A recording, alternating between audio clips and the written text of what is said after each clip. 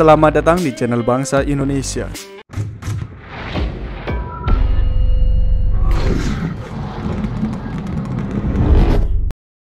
Meskipun kemiliteran Indonesia berada di urutan 11 dari 126 di dunia, namun kemiliteran Indonesia ternyata menjadi panutan negara-negara lain loh.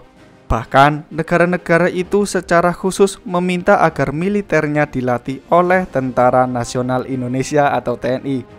Dan siapakah negara-negara itu? Penasaran? Simak terus video ini sampai akhir.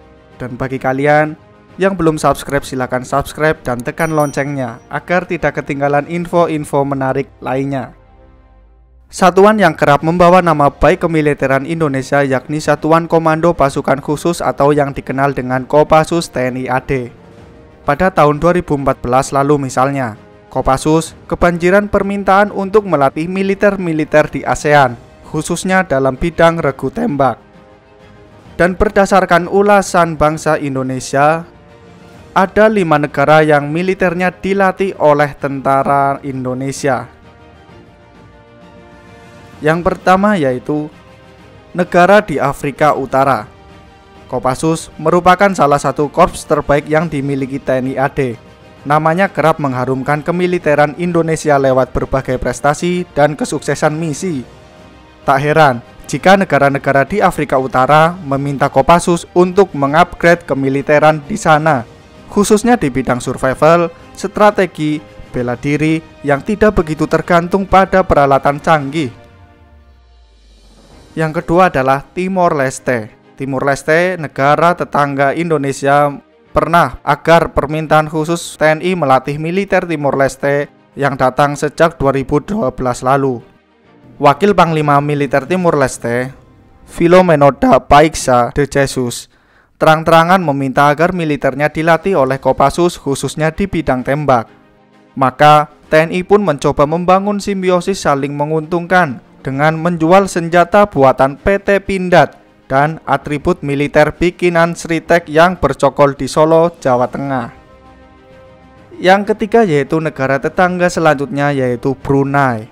Brunei, negara kecil yang kaya dengan sawit, juga terang-terangan mengaku kepincut dengan Kopassus. Mereka bahkan berniat menyewa Kopassus untuk melatih grup tembak militer Brunei yang akan tampil di sebuah ajang tembak dunia. Yang keempat yaitu Kamboja. Kamboja menjadi salah satu negara yang telah membuktikan keunggulan militer Indonesia. Militer Kamboja dilatih oleh satuan TNI AD bernama Batalion Komando 911. Kini militer Kamboja yang dilatih satuan tersebut digadang-gadang sebagai salah satu satuan paling gahar di Kamboja. Dan yang terakhir adalah negara Myanmar. Pada ajang ASEAN Armies Rifle Meet pada 2014 lalu, Myanmar secara khusus langsung meminta agar militer Indonesia bersedia melatih militer Myanmar. Dan saat itu pula, Myanmar terpukau pada aksi Kopassus yang mampu menyabet 29 medali dari 45 medali emas yang ada. Wow, suatu prestasi yang sangat luar biasa bagi TNI kita tercinta. Dan bagaimana pendapat kalian? Silahkan kalian komen di kolom bawah ini. Terima kasih telah menonton ulasan ini sampai akhir. Jangan lupa share video ini ke teman-teman kalian dan like dan jangan lupa subscribe. Sampai jumpa di video berikutnya.